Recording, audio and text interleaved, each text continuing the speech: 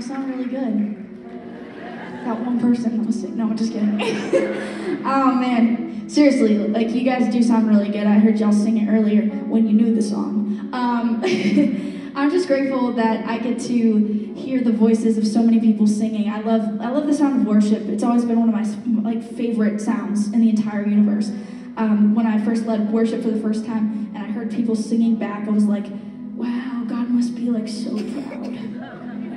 Tears. Like I, I think it's the most amazing thing. It's like angels. Anyways, that was way off track, but I am so grateful to be here with y'all tonight, and I just, I just want you guys to know that I love you guys. I think y'all are awesome. Okay? All I heard was, I love you too. I love you too. Uh, you know, the one thing we all have in common in this room is we all have a story.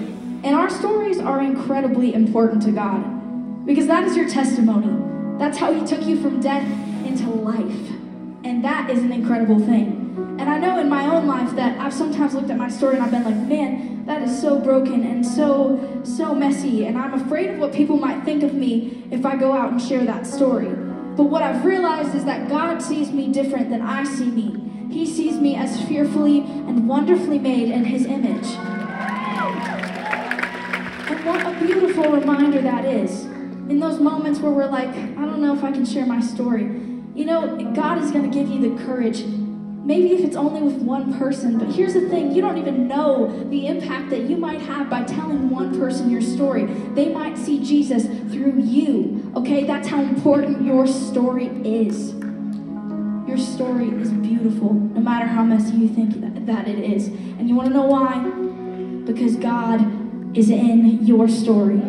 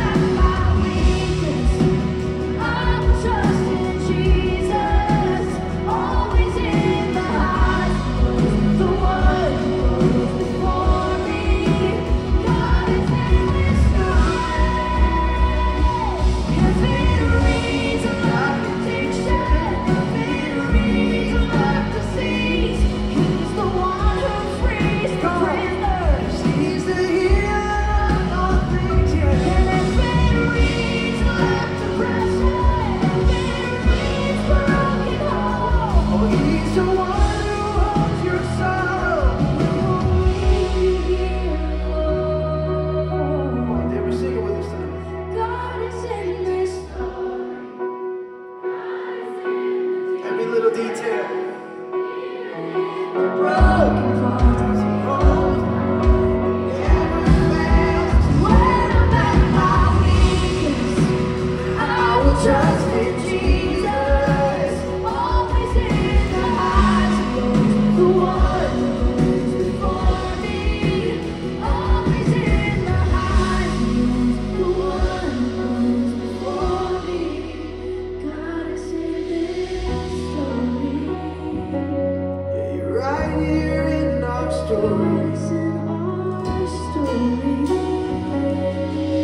Denver, if you believe he's not done writing your story, somebody give him grace right now. Give him some praise.